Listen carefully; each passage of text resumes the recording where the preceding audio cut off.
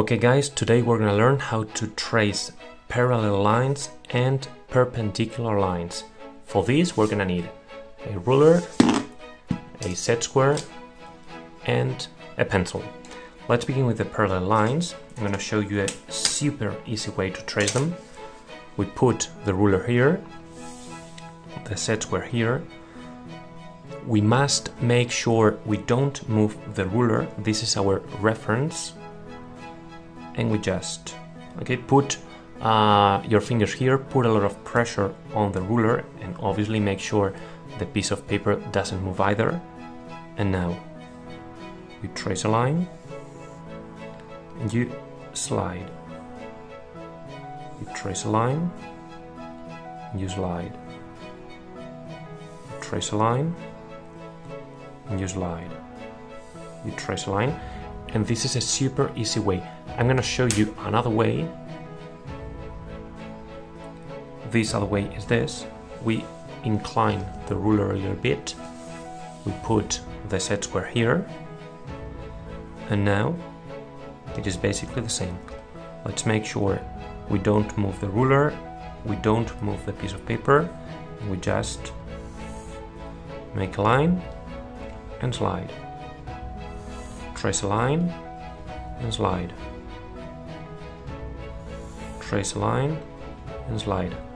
I'm still using these fingers to put a lot, of a lot of pressure on the ruler to make sure it doesn't move, okay? Good.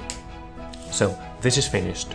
Here I am going to make a shape, a very simple shape, for example a heart. I'm not gonna press a lot with my pencil just in case I wanna erase the outline later and now I'm gonna fill it with parallel lines. So let's go.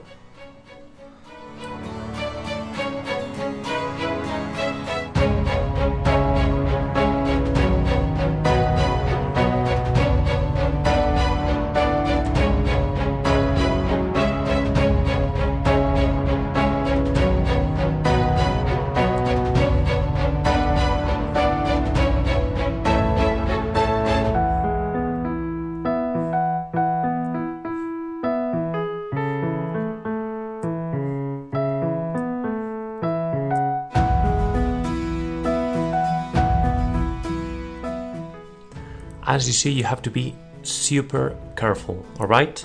If you try to finish it quickly, you will make a mistake for sure, especially if it is your first time. So, uh, you must be slow, that's the key. Alright, let's go to perpendicular lines. This is a bit more complex.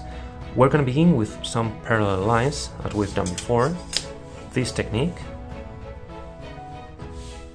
So let's go.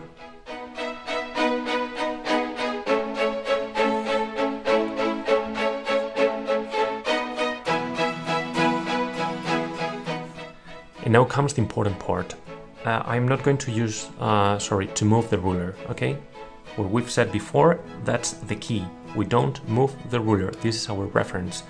As you see, I was using the longest side of my set square to trace these lines.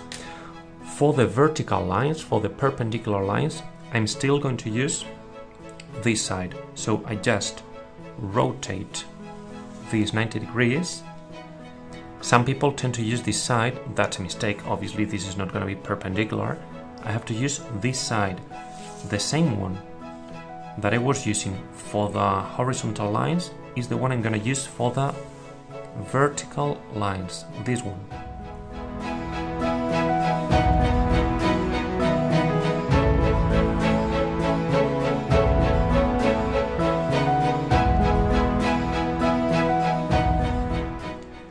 I'm gonna repeat the movement one more time. Okay? Here, to trace these horizontal lines, and for the vertical ones, which are perpendicular, I use this side as well.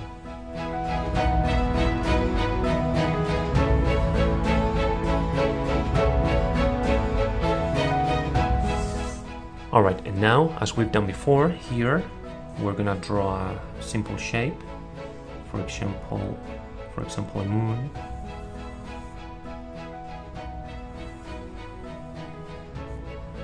And we're gonna fill it with um, perpendicular lines so some horizontal lines and some vertical lines. So let's begin with this.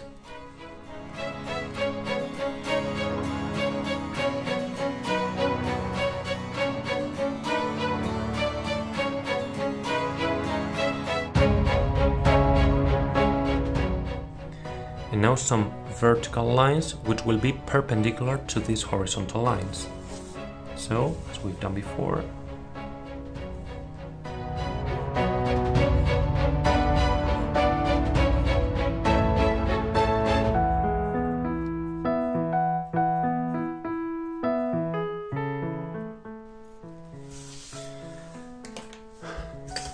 So this is the result, this is what you have to get. As I said, if you feel feel confident when doing these things, okay? If you think that you have learned the technique and you're able to do it correctly, instead of using a pencil, you can use a color pencil, you can use a marker, whatever you want. That's up to you. So I hope you liked it and see you next day. Bye bye.